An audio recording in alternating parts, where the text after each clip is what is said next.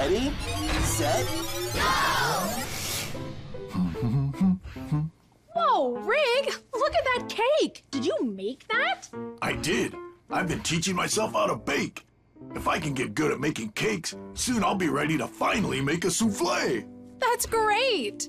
It sure looks tasty. Thanks. I'm letting it cool so we can share it with everyone tomorrow. You're gonna leave it out overnight?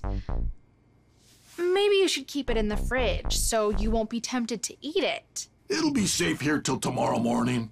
I don't want it to cool too fast.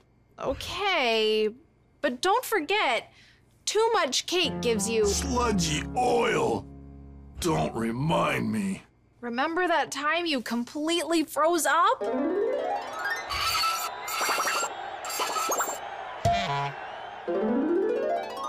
Don't worry, it'll be okay. Okay, Rig. Good night then. Good night. Rig! Who said that? Rig!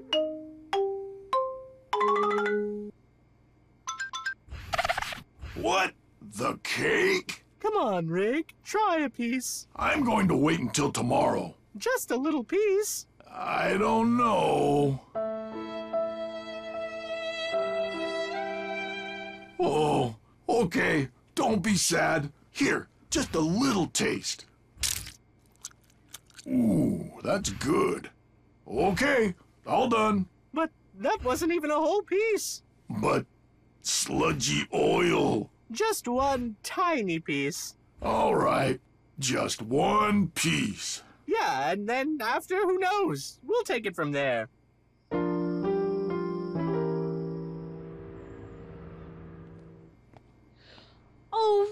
Rig, you didn't! I did. Sorry. Miss Tina, did you find. Whoa! What happened here? Rig ate too much chocolate cake, and now he's got. Sludgy oil. I thought I could control myself, but you were right, Miss Tina. I should have removed the temptation. I thought leaving it on the counter might be a bad idea. Next time, you should lock it up in the Temptronic timecode operated cake safe.